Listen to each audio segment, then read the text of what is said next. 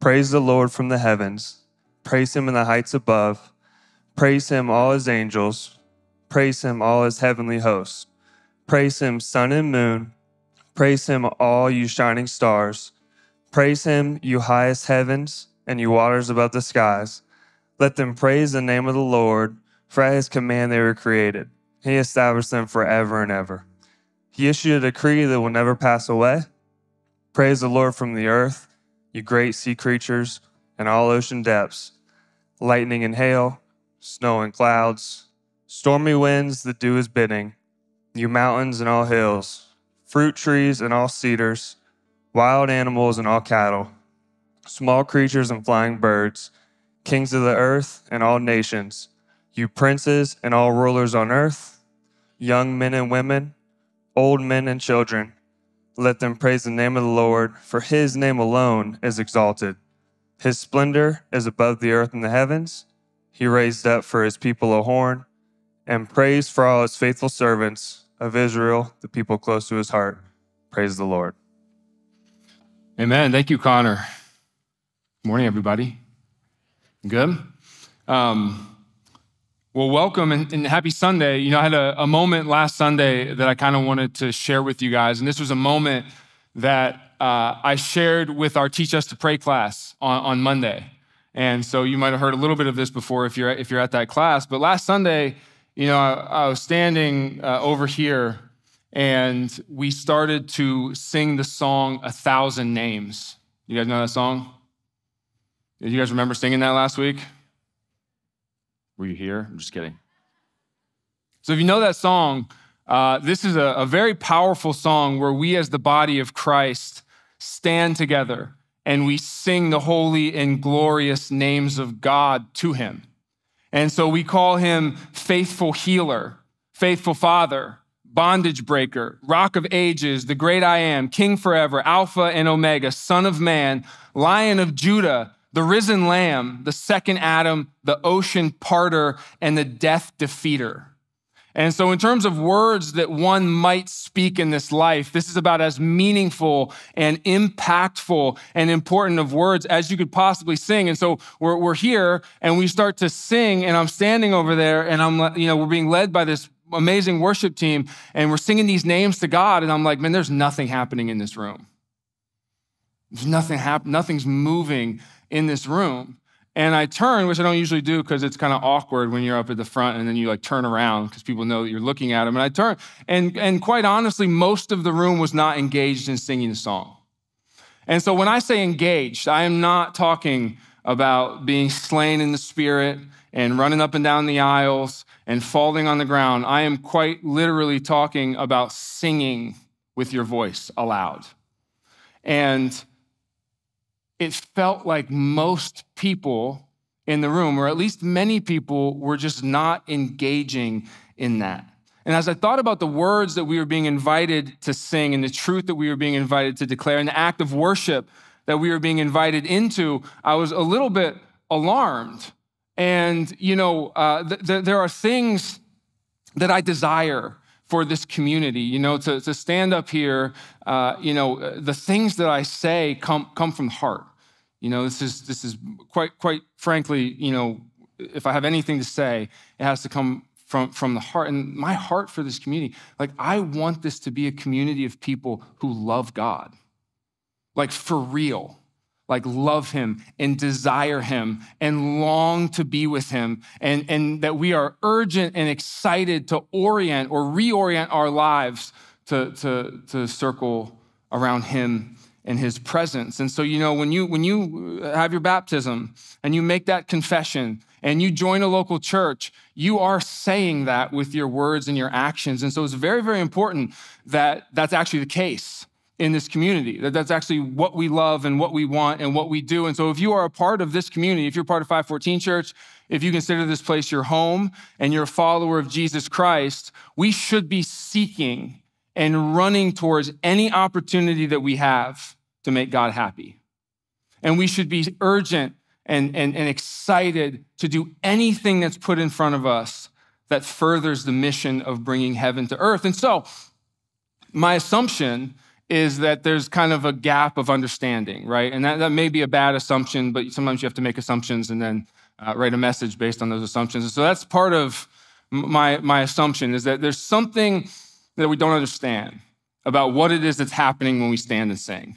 There's something that we don't quite, we're not quite putting the pieces together uh, about what the story is behind that, how that fits into the mission of the church. And so, as a teaching pastor of the church, uh, I can't make you sing, but I do feel a burden to at least show you and help you to understand the story and the truth behind why we sing and why we make music for God. And why to stand in a congregation like this and to sing to God is an opportunity that God has graciously put in front of you to move closer to Him. And so today, and next week, I think Bryce mentioned this, we're, we're beginning this series called Hallelujah. And so, anybody know what that word means? Hallelujah in Hebrew? Praise God. So, halal means praise, and Yah is the shortened form of Yahweh, and it's a command, right? It's an imperative. It's, it's not an ought, it's a you must praise God. And so, this week, Next week, we're going to be talking about praising God in song and in prayer. And so you, you heard that verse that Bryce opened uh, his, his host part with I call to you, Lord. Come quickly to me. Hear me when I call to you.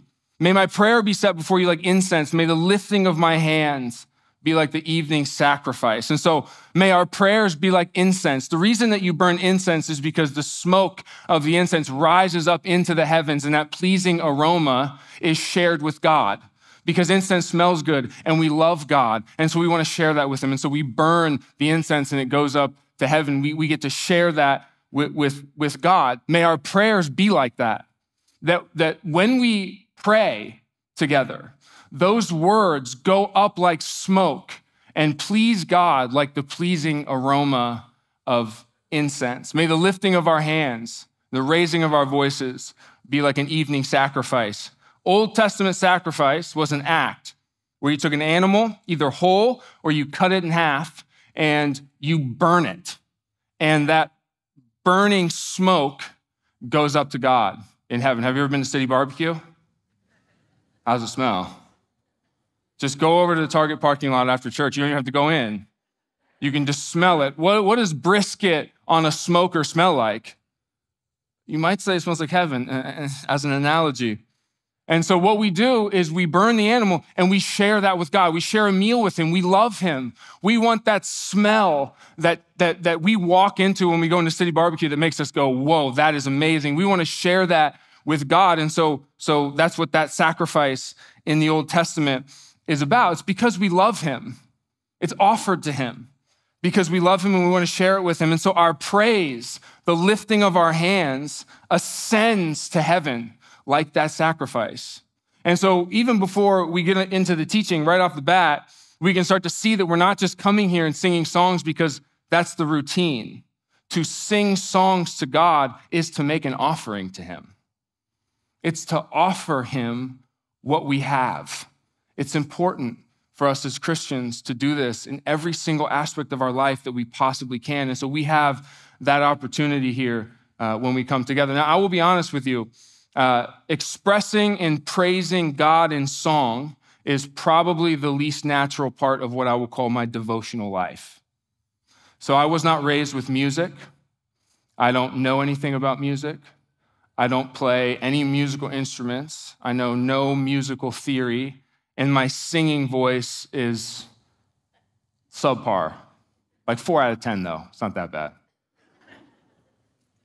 A uh, couple, I guess this was around Christmas. I was standing over there with my wife, and uh, I can't remember what song it was, but it was kind of one of those moments where it's quiet so people can kind of hear you sing. And my wife Jenna can sing a little bit, and so she was singing, and these, these sweet high school girls afterwards turned around and they said, You have a very beautiful singing voice. And, to my wife. And I was standing there and I was like, that's sweet, and? And they did not uh, offer the same, the, the, the same to me. And so, really, what I would do for most of my life is I would come to church and I would stand for three songs and not really engage. And I would wait for the message because the message, that's like where the meat is, right? Like that's where like the intellection is. That's kind of what I connect with, which is actually not the, the proper way that we should approach listening to a sermon either, but we don't have time for that today. Um, uh, and I just wouldn't really engage in, in the singing. I thought that, that that part of church is just not really my thing. And so, what we're going to talk about today, and what I'm going to get to eventually, is that that assumption is incorrect. It is your thing, and it must be your thing. And we have to step into that. Recently, my understanding of uh, what we're doing when we come together and sing these songs to God has changed, and it's completely flipped upside down my understanding of what's happening on Sunday mornings and what it is that we get invited into. And so I want to share that with you guys. I want to give you what I will call a brief, you know, according to me, a brief biblical theology of worship and music. And from that, summarize why we come here and sing songs, and then honestly challenge this community to come here on Sundays prepared to step boldly into the gracious invitation to sing praises to God and to offer Him a sacrifice with our voices. And so here's the argument that I'm going to go through. I'm going to tell you, and then I'm going to do it, and then I'll, I'll, say it again at the end. That's some kind of strategy. So here it is. Number one, you were made to sing. You were made to. And maybe, like me, you, you sing, and it seems like maybe you weren't made to, but you were made to. You were created as a singing being by a singing God. And so, who you are supposed to be in this world, in the depths of what it means to be an image, is deeply tied to song and music to God. And so, you were made to sing. Number two, God is moved by our singing. Like, God is stirred by the lifting of our voices. You know, anytime we start to talk about doing for God in this church, somebody uh, grabs us, sends us an email, wants to talk about how we just want to make sure that we're saved by grace uh, and, and not saved by works. And so he, here's, here's what I have begun to say to people uh, Of course, we're saved by grace. And so my life, which is a life of action, is not about doing things for God because I think that's going to make him love me more or because I think that's going to make me more accepted. My life, which is a life of action for God, I want that life to stir his heart. You know, when you when there's this parable Jesus tells of when uh, when, when we actually come and we see God, when we see Him face to face, and one of the things that He might say to you is, "Well, good, uh, well done, good and faithful servant." And so I want my life to stir the heart of God. And when we sing, we move him. Number three, we will sing in the new heavens and the new earth. And so our ultimate future state is one of at least partially singing to God. We're invited to start to participate in that now, today, in the present. It's very important that we do so. And number four, and I'm going to make you uh, wait until the end because this one's interesting to me. Number four, when we sing, hell is shaken. When we sing here on Sundays, the devil is wounded and the gates of hell are pushed back. And so we'll talk about that as well. So, uh, the reason that we do biblical theology at this church is because we believe that God is ultimate reality. And so we believe that everything we know about the world and everything that we might know about God, uh, we know because he reveals it to us. And so, God is not a being that one can figure out, he can only be revealed. And God has graciously revealed himself both in creation and specifically in the scripture because he wants us to know him, because he wants to have an intimate relationship with us. And so I believe that God reveals the meaning and the purpose of everything in the scriptures. And so, of course, if there's a deep meaning and purpose behind music and singing, then God is going to reveal that in the scriptures as well. And so, before we get into the Bible, I just want you to think about your life and think about the world that we're a part of. Life is full of music, and the world is full of music. In fact, we as humans are moved by music. There's something about music that speaks deeply to us. And if you think about it, music is glorious in the literal sense of that word. Music literally glorifies things, it glorifies space, right? If you're hosting a party at your house and you're a good host, You've got, you know, finger food and people are having conversations and what's playing in the background? Music. Why? Because music glorifies space. That exact same situation with no music feels totally different. It feels much less glorious.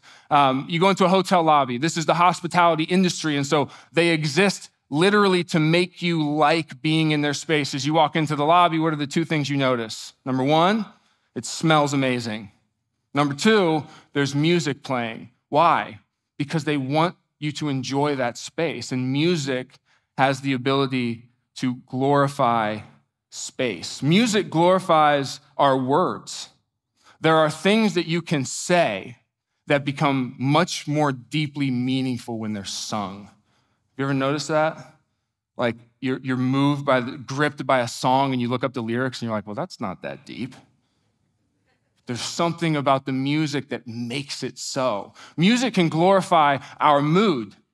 You know, uh, you're, you're driving in your car, just having a bad day, but then that song comes on, changes you. I know what you're thinking. I'm thinking the same thing. Love Story by Taylor Swift. What? During the climactic moment of a movie, what is going on in concert with the action on the screen? That's when the score gets big, right? That's when the music swells. That's when there's a crescendo. Why? Because the filmmaker wants you to feel something in that moment. And music glorifies our feelings. Music makes us feel deeply. Neuroscience shows that music actually can and does rewire your brain and change your neural pathways. And so music glorifies the world and it grips our soul. And I believe that the reason that this is true is because music is written into creation by a musical creator. Did you know that God sings in the Bible? God's voice thunders and the world comes forth. You know, it says that, that the word of God speaks this world into existence. And so the, the, the world is based on word, but maybe it's not just a monotone speaking voice of God that creates this world. Maybe God's word creates this world in song. In fact, this is C.S. Lewis's hypothesis, which he puts in his allegory, uh, The Magician's Nephew. You guys read the Chronicles of Narnia? Great, great books. You should read that and make your children read that. Uh, this is what it says in the Chronicles of Narnia creation story. In the darkness, something was happening at last. A voice had begun to sing. There were no words, there was hardly even a tune, but it was, beyond comparison, the most beautiful noise he had ever heard. It was so beautiful he could hardly bear it. And then two wonders happened at the same moment. One was that that voice was suddenly joined by other voices, more voices than you could possibly count. The second was that the blackness overhead all at once was blazing with stars.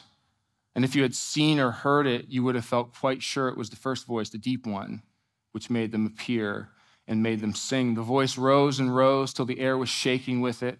And just as it swelled to the mightiest and most glorious sound it had yet produced, the sun arose. And all this made you feel excited until you saw the singer himself, and then you forgot everything else. It was a lion, Aslan, huge, shaggy, and bright. It stood facing the risen sun, and its mouth was open in song. And so, C.S. Lewis's allegory is that the world began in music.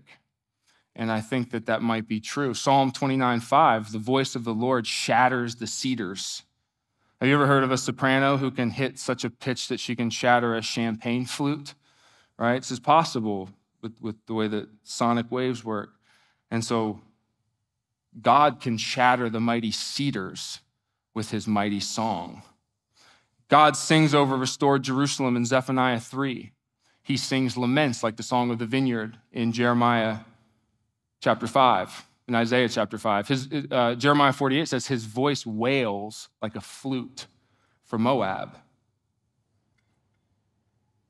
His, he sings, and his voice is music. When he speaks at Mount Sinai, you know what they say it sounds like?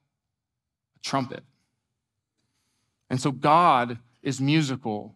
The Father brings forth creation in song, and he continues to sing because the Father is a musical singer. And if the Father is musical, then that means that the Son, Jesus, is musical as well. And we see this in the scriptures also. You guys ever read Song of Songs? Song of Songs is a love song between a bride and a bridegroom, Well, we are the bride, the church, and the bridegroom is Jesus Christ. And so the Song of Songs is a song that was written to us from Jesus, and we're supposed to respond back to him in a love song. When Jesus is born in Luke chapter 2, the angels sing glory to God in the highest.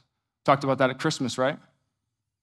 In Matthew 26, the Last Supper, before he goes to suffer for his people, it says that he leads his disciples in the singing of a hymn probably a hallel, a praise psalm. The Psalms, speaking of which, are the hymnal of the Bible, the songbook of the Bible, and usually attributed to David, which is correct, but Jesus is the true David. Jesus is the perfected David. And so those Psalms, that songbook, belongs to Jesus. Jesus has now ascended to the right hand of God.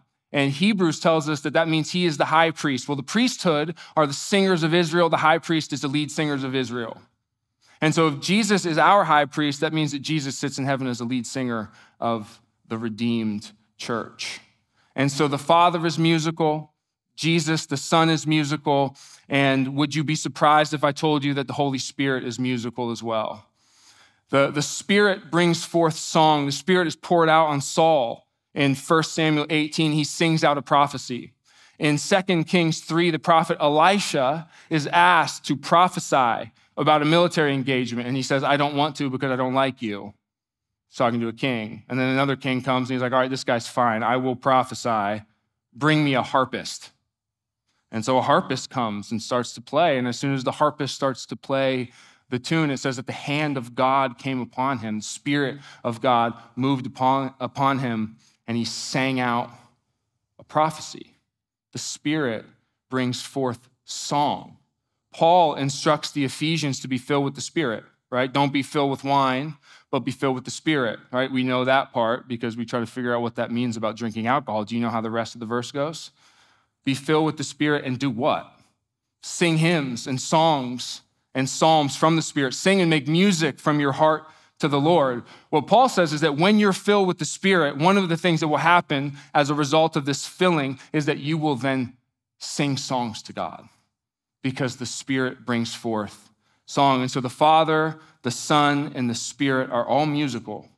The God that we worship, who is Trinity, is a musical God. In fact, Jonathan Edwards said that the triune God is the supreme harmony of them all. The triune God, Father, Son, and Spirit, three in one, is the supreme harmony of them all. What does he mean by this? To illustrate, I'm going to have Jackie come up here. You guys know Jackie Mitchell? She's gonna she's gonna play a C chord. You probably know her as a world famous podcaster on the greatest podcast that has yet to be released in the medium called Story Symbol Spirit. Check it out. She also plays keys every Sunday. And what I'm gonna ask Jackie is I'm gonna ask you to play a C chord. Okay? Now, that was it? Nice. Now, a C chord is a C, and E, and a G. Is that correct? Yeah, so play it one more time. Okay, so uh, if you've been around church and people have tried to explain the Trinity to you, they give you weird analogies and they'll say things like God is like an egg because it's like a shell and an egg white and an egg yolk. And the reason I don't like that as an analogy for the Trinity is because God is not like an egg. And so when you think of God or your children think of God, I don't want them to think of an egg. And there's other analogies like God is like water because he exists in three separate, you know, it's like three separate states. There's like gas, liquid, solid, but it's one elemental structure, right? But th- there's issues with that. And so all these analogies fall short. And so maybe uh, one of the best analogies is that God is like a three note chord. Play a C again. So that is one single sound. Do you guys hear that? It's one sound. It's not three separate sounds combined. What you are hearing in that sonic space is one sound, and yet it is three notes. Three notes in one sonic space. And so the three notes do not fill up that space that you're hearing with like one third E, one third G, one third C. All three notes fully occupy the entire sonic space simultaneously, right? Like like God. Now, I'm not, I'm not an expert, but I heard someone uh, who claimed to be an expert, and this, was, this is from the internet. So, uh, you know, And he says that not only is that true, every, all three of those notes that make one sound, uh, if you can actually break down the sonic, uh, you know, production of it, uh, each note voices itself through the other two notes. So the C is actually voiced through the E and the G, and the E is voiced through the C and the G, and the G is voiced through the C and the E, which is also true of God. The Father is known, but only through the Spirit and the Son. The Father speaks the life of his Son through the breath of his Spirit, like a three note chord. And so I don't know if that's the perfect analogy, and I also didn't make it up. Uh, I'll have to spend some, some more time with it. But the least that you can say is that music itself has Trinitarian aspects to it. There are things about what Jackie just played. Play it one more time, and then you can go. she was leaving. One more time. There are aspects to this that relate to the Trinity, which makes sense because God is musical. Give it up for Jackie. Thank you, Jackie. And so God is musical and we are images of God. And that means that we are musical. This is why music grips us. This is why music moves us. This is why music makes things feel more glorious to us because God is musical and we are his images. Joel did a series a couple years ago about being an image of God, about what it means to be a human. What is that vocation? How do we take it seriously? And one of the things that he talked about uh, in this series was that uh, to be a human means to be a prophet and a priest and a king. So, what is your life supposed to look like? You know, when we ask that question, we're always thinking about which job should I take and, you know, where should I move? And those are important details. But the, the main question, what is your life supposed to look like? Well, you are supposed to look like a prophet and a priest and a king. A king is one who has dominion in the name of God. And so that's a call on your life. So you're supposed to put your hands on the world and have dominion over it and with those image of god powers take that world that you that you touch and take it from glory to further glory. You're supposed to be a king. You're supposed to be a priest. A priest is someone who mediates god to the world right? We say that we are the light of the world. What do you think that means? It means that the light of god is supposed to come into us and shine out of us. It, the, the glory of god comes into us and then that is mediated and given to the world like a priest does. And so that's a call on your life. You're supposed to be a king, you're supposed to, to be a priest, and you're also supposed to be a prophet because uh, prophets are people who go into the divine council and consult with God and then make decisions with him in this world. And so, what do you think is happening when you pray? Where are you going? Going into the council, and you're speaking to the Father in the Son through the Spirit. And what is supposed to come from that is that you're supposed to take that and then make decisions with God in this world. And so you're supposed to be a prophet, you're supposed to be a priest, and you're supposed to be a king. In the Old Testament, there were prophets and there were priests and there were kings. But now in the church, we're all supposed to be all three of those things. And so when you read the Bible, and you see what's going on with priests and prophets and kings, one of the things that you'll see is that all three of these roles sing in the Old Testament. All three of these roles are singing musical roles. Priests sing. In fact, it's one of their key functions in the temple. They sing and play musical instruments in the temple. Prophets sing. Much of the prophetic recordings is poetry, right? Probably written with music. I think that this is why Elisha asked for a harpist, because he was about to, he, needed a beat. And kings sing in the Bible. You know, who's like the prototype of a godly king in the Old Testament? It's David. Well, what else did David do? He's the sweet psalmist of Israel, right? And so kings sing. God sings in the Bible. You are an image of God. To be an image of God means to be a prophet, priest, and king. Prophets sing, priests sing, kings sing. And so you might be like me and have a moment in your walk with God where you think the musical part, the singing part of church, that's just not really my thing. Now the problem is, is that you have to ask the follow-up question, are you a human? Then it's your thing. You were made for this. Who you are is deeply tied to song. We have to sing to God. And it's important with our relationship to God. One of the implications of God being musical is that it means that God then responds to music.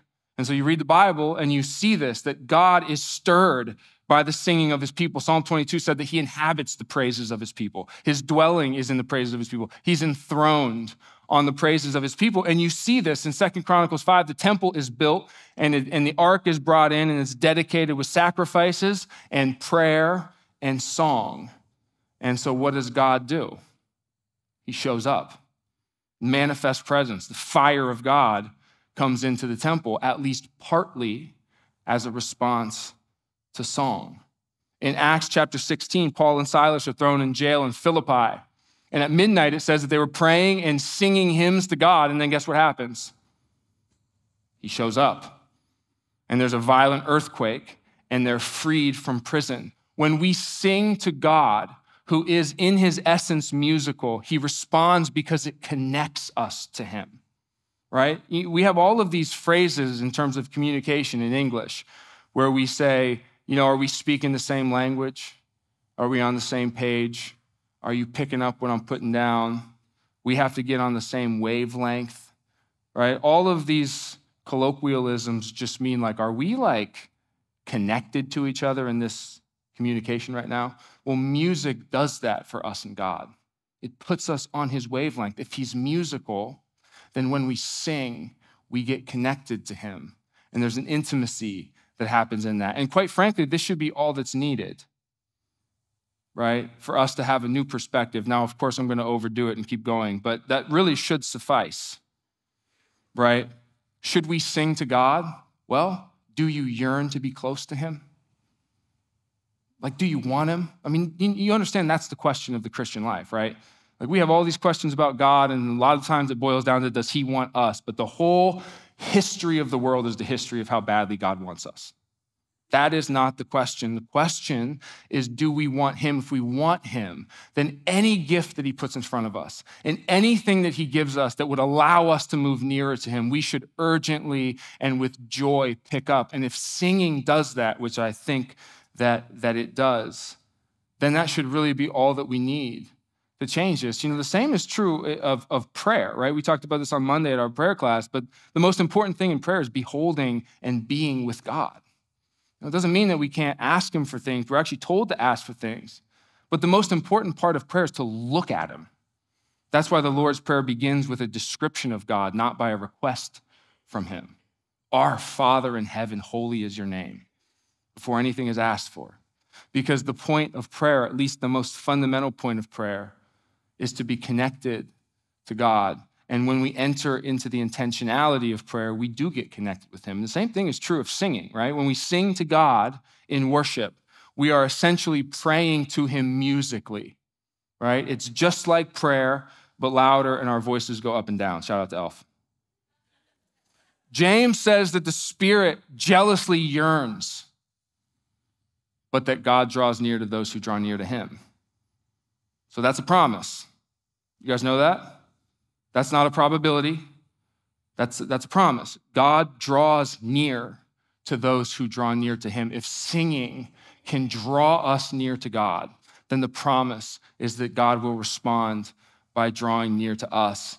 And so if you feel distant from God, the question will be do you sing to him? If you, if you feel stuck in a relationship with him and you're wondering why you've kind of hit this plateau, you know, do you sing to him?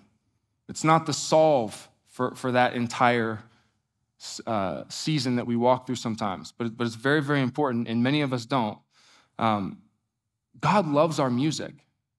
Isn't that interesting? It pleases Him. Uh, in fact, God is in heaven, and in heaven, He is eternally in the midst of music. And so the scriptures say that heaven is filled with angelic armies. It's also filled with angelic singers. Heaven is a place of music. That psalm that Connor read, Psalm 148, begins with Praise him, all his angels. Praise him, heavenly hosts. Praise him, all you shining stars. Praise him, you highest heavens. The heavens declare the glory of God, both with beauty and in song.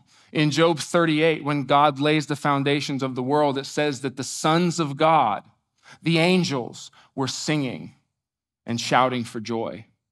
In Isaiah 6, Isaiah is called into the throne room of God. He finds himself in the throne room. He sees the seraphim, the burning ones, flying around the throne of God, and they're singing, Holy, holy, holy is the Lord God Almighty. Heaven and earth is full of his glory. And they're singing this over and over and over again. John in Revelation is invited into the throne room and he sees the same thing. And so here we are on earth, and earth is not yet joined to heaven, but that is our destiny. Ephesians 1:10 to unite all things in heaven and on earth in Jesus Christ. And so do you ever wonder why? Uh, you know, since that's our destiny, God gives us pictures. You know, it's not the real thing fully yet, but we see glimpses because he wants us to look at him. You ever wonder why birds fly around in the sky and sing pretty songs? It's kind of a mystery to scientists. They understand some of the communicative aspects of the songs of birds, but they don't know why it's beautiful. But Christians know why it's beautiful because in heaven, there's winged creatures who are flying around singing worship to God. God wants us to know what He's like. And so here we are on earth, and we have winged creatures that fly around in the sky and, and sing. Heaven and earth have been torn apart because of sin, but that is not the way that things are supposed to be. And the purpose of the image of God, of us human beings, the prophets, priests, and kings of this world, is to put the earth back together with heaven. That's our job, that's our role, that's our purpose in the power and in the name of God. So in the Lord's Prayer, we say, Your kingdom come, your will be done. Where? Here on earth as it is where? Right, because that's what we're doing right? We're putting it back together. One day it will be fully back together. In the meantime, we live, and when we live as Christians and when we obey what it is we're supposed to do, little pockets of heaven pop up around us. Real heaven, right? It's, it's a down payment. It's the first fruits, but it's real. When you take wheat from the first fruit harvest and you bring it in, that's not the full harvest, but it's not fake wheat. It's real wheat. And so the, the foretaste of heaven that pops up around us when we fulfill our vocation, that is real heaven. It's not the full thing, it's not all of it, but it, but it is actually real. And so, what is heaven like? If we're supposed to make earth like heaven. What's it like? Some of that is actually very mysterious because not as much has been revealed uh, about heaven as some of our pop culture thinks, at least, uh, at least biblically, but we do know some things about heaven. What is one of the things that's going on in heaven? Music. They're singing to God. So if we're supposed to make heaven and earth come together, if we're supposed to do his will here as it is there, if we're supposed to make earth like heaven now, what is one of the things that we have to do? We've got to sing to God. It's not all that we should do, but it is a non negotiable part of it. We have to. One day, the hosts of earth, human beings, and every creature with breath will sing a harmony with the angels. And heaven and earth will be joined, and we will praise God. That is our destiny. And so when we come together and praise God here in the gathering, one of the things that we are doing is we are bringing that future, the very destiny of earthly creation, into the here and now. When we sing to God, we participate today in what is promised to come fully later. We call forth at least a part of that final state of being right now. And so we sing because we were made to sing made to sing by a God who sings. We sing because it's a key part of what it means to be a human. We sing because it makes God happy, it moves him, and it connects us with him. And we sing because to sing now is to participate, at least to some degree, in our future destiny. And I have one final point about why we sing to God, and I hope that this connects with some people because uh, this was very, very pivotal for me in, in terms of worship. When we sing, we declare the truths of God. We declare who he is, we declare what he's done. Who are we declaring that truth to? Well, we declare it to each other, right? And that edifies and builds and strengthens the body. We declare that to God, and that moves God and makes him happy. You know how else we declare it to? The enemy. We declare these truths to the devil and his host, to the powers and the principalities that we are currently at war with right now. Singing is a weapon. When we sing that Jesus has destroyed death and conquered the grave, the devil and his host are tortured. When we sing that God is holy and worthy of praise, the devil and his host are afflicted And when we sing that the blood of Jesus has washed us clean and made us children of God, and that there's nothing that the accuser of the brethren has left to condemn us with, even the thing he once had, death, has been snatched away from him by Jesus Christ the conqueror. When we sing that, the gates of hell are pushed back, and the devil and his host are struck. You know, uh, if you want to live in the part of the purpose of your being, you got to sing. If you want to prophetically declare the future, you got to sing. If you want to please God and draw near to Him, you have to sing. But if you want to enter the fray, if you want to go and step up to the front lines, if you want to fight the forces of evil and darkness and the principalities that want to steal from you and lead you and your loved ones to death, if you want to fight that war, if you want to fight that battle, this is it. This is it. This is a weapon. This is part of it. And it begins now. You want to take a militant stand for God in this world, then declare Him in song. Uh, the call to sing and worship God goes out to the entire church, but I just want to take a moment and I want to speak to the men in the room, okay? And that is because uh, I was asking our staff, you know, what is going on? Like, what is the resistance on Sunday mornings to, to singing sometimes? And we had a really good discussion, and lots of good points were made. At some point, someone raised their hand and said, The women sing. This is important. In my experience, when men burn for God, they want to enter the fray. They want to do for Him, they want to fight for God. This is the way that zeal tends to manifest in the male heart. And so the question then, men, is what can we do? What can we do for God?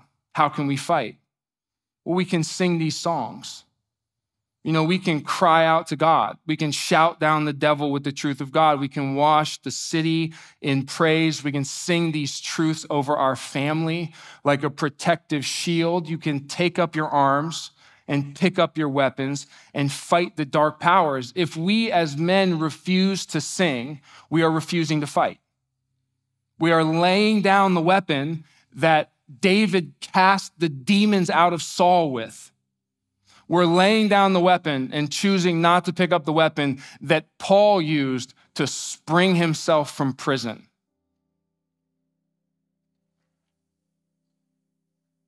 And so we can't be a church that lays down our arms. We can't be a church that refuses to step into the battle. There is a battle happening for your soul and for your wife's soul and for your children's souls.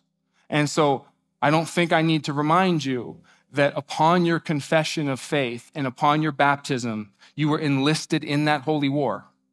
And you were enlisted to wage war on the enemy. And so in this life, you as a Christian must fight to demolish the strongholds of the devil and you must use the weapons that are available to do so. 2 Corinthians 10 4. Our weapons are not of this world. On the contrary, they have the divine power to demolish strongholds. And so, what Paul is saying, our weapons are not of this world, they actually have power. So, what he's saying is that your fists can't demolish the strongholds of the devil, and your guns can't demolish the strongholds of the devil, and neither can your politics, and neither can your intellect, but prayer can, and singing the truths of God's victory over those powers can. And so we sing. And when our men sing again, we will feel it. And so will Satan. And so I told you that singing praise is not the easiest thing for me. And so this understanding has changed me. I want to be near to God. I want to live into the purpose of what I was created to be. And I want to spend this life on the front lines, fighting for my family, fighting for the church, fighting for the loved ones. And there's all kinds of ways that we do this, but, but one of them is that we come here and we sing. And so I've had to orient my life differently uh, and so, one of the routines that I have now, and this is only a few months old, so I'm not an expert in this. I get in my car, I got about a 20 minute commute, and I, I just wail worship songs. And my two favorite songs are Revelation Song and Forever, which are both by Kari Jobe, which basically makes them unsingable because of her voice. And so I cannot sing them, but I can scream them. And I do, because I believe that those words in that song goes out over my family and over my city and over my church. And whatever interaction I might have that day with the powers of evil, I've already declared my position. I've already declared my intention and I've already declared my allegiance and I've already stated the truth of Jesus Christ and his victory over the grave. And so that's when I'm by myself. I believe it has that kind of impact. Now, what about when we stand together and sing? What about when we come in here as a church and not only are you singing like that, but you look over there and so is she? Well, that is a child of God with the power of the Holy Spirit residing in here, the same power that rolled the stone away and raised Christ from the dead. And so now she's singing, and so is he. And he's a child of God, and he has the power of that spirit, and so is she, and so is he, and so is he. So what's happening when we're singing? One of the things is that this is this is a this is a, an, an army, right? This is the militia who's fighting against the powers of darkness by declaring the truth of God. And when we sing like that together, the devil trembles. And so we have to sing. And I'm not saying you have to sing well, but you have to sing. And if the people around you uh, are uncomfortable with the, the, the quality of your voice, you can remind them that you are fighting the principalities and the powers of the devil on their behalf as a brother or sister in Christ. And so we have to sing. We're going to have the band come up here, and uh, I'm going to pray, and it's going to lead us into a song. And maybe uh, you didn't know this. Maybe this is new information. Maybe you did know it, but, but this is reinvigorating what you think this is. But when, uh, when we stand and when we sing, I want you to take a step. And so if you don't usually sing out loud, I want you to sing out loud. If you don't usually put your hand in the air, put your hand in the air or put your hands out or do something. Take that step because I believe that God is calling this church to step into the things that bring him near. And, and, and singing brings God near. And so take a step, whatever that means for you, whatever that next thing is, whatever you've been previously uncomfortable with, let's take that. Let's pray together. God, you promised us that you draw near when we draw near, and you are more faithful than we are. And so I just want to ask you today that if this congregation, if this group of people takes a step towards you and sings in a way that they haven't in order to draw near to you, then I want to call upon you to make good on your promise and to show up and to be here and to give us your presence and to manifest it in a way and to allow us to see that you're near, to see that you're here, and to feel that, God. Father, we acknowledge that we are at war in this world, and you have given us the weapon of our voice to crush the head of the serpent. Allow us to use that. Do not allow the fear of man do not allow the discomfort to stop us from fulfilling our destiny, to stop us from taking back what's ours, to stop us from doing the very thing that we were created to do. And so, God, I ask for zeal when we sing. I ask for fire when we sing, fire in our hearts, fire in the words of the song. God, I ask for your power. It is in your Son, Jesus' name, that we pray, and in the power of the Holy Spirit. Amen.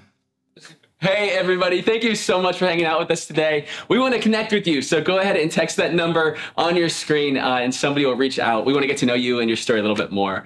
Uh, we hope you have a great week and we will see you next time.